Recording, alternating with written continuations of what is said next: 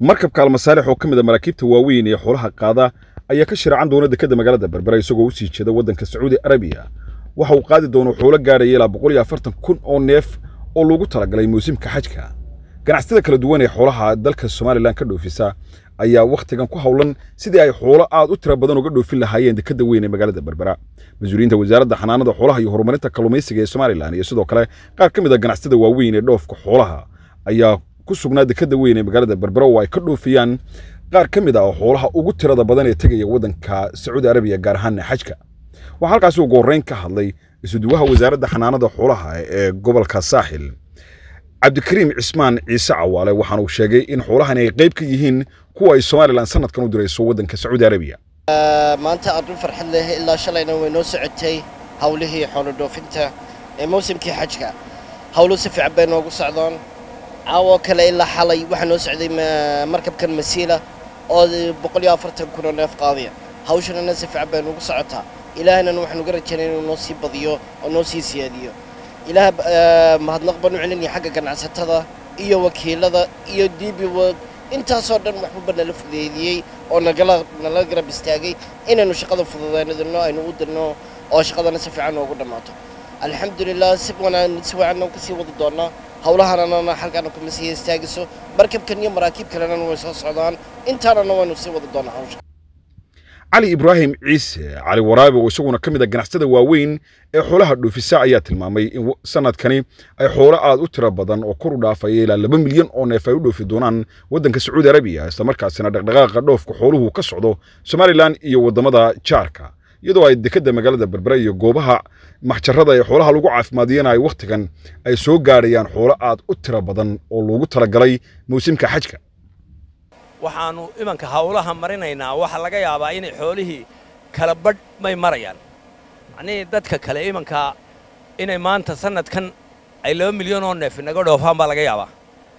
Imanka annagu haddaanu nahay shirkaddan maxjarkan imaaraat sacuudi imaaraat waxaanu dhoofinay ilaa afar boqol iyo konton kun.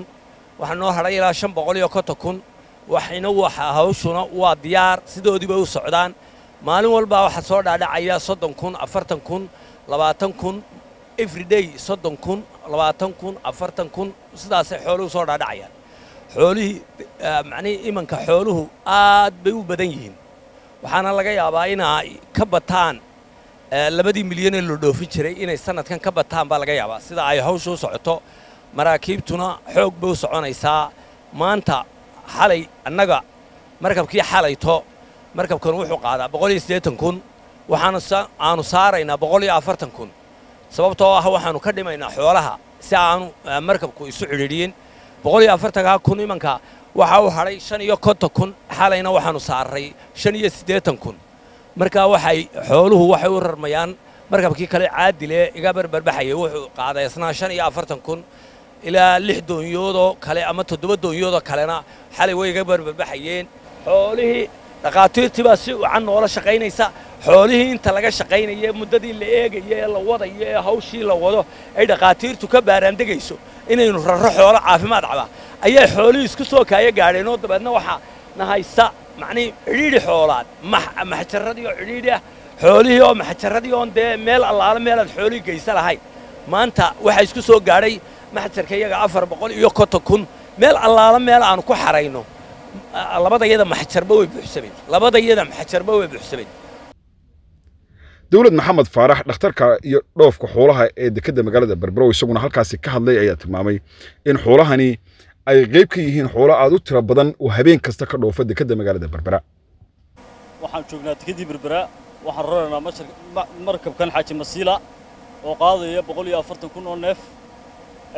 Waa markab international oo caalami ah waa wax lagu farxo inay yimaadaan maraakiib intaa cabirkoodu leegyahay oo intaa la leeg ay isku soo aaminaan dekedda berbera markabkan waxaa laga keenay waddanka australia.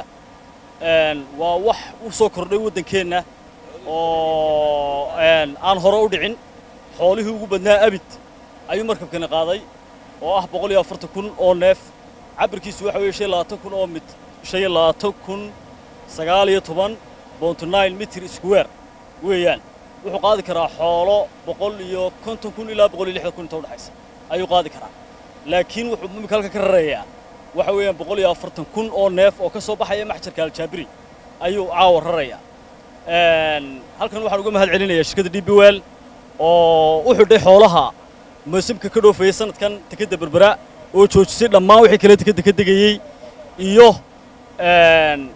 dhammaan inta xoolaha la shaqaysa ganacsatada xoolaha leh. Wasaaraddii oo mar walba annagii oo wasaaraddii oo garab taagan. Alxamdulilaah dhaqdhaqaaqa dhoofka xoolaha ayaa tan iyo bishii aynu soo dhaafnay si weyn looga dareemiyey magaalada berbera iyadoo ay xoolo aad u tiro badanina ay soo gaarayaan magaalada magaaladuna xoog ayay u mashquulsan tahay dadkuna waxay ku hawlan yihiin sidii xoolahan xajka ku socdaa loo dhoofin lahaa dekedda magaalada berberana waa mid afar iyo labaatanka saacadoodba ay xooluhu ay ka dhoofayaan mukhtaar cabdiraxmaan maxamuud telefishinka qaranka somalilan berbera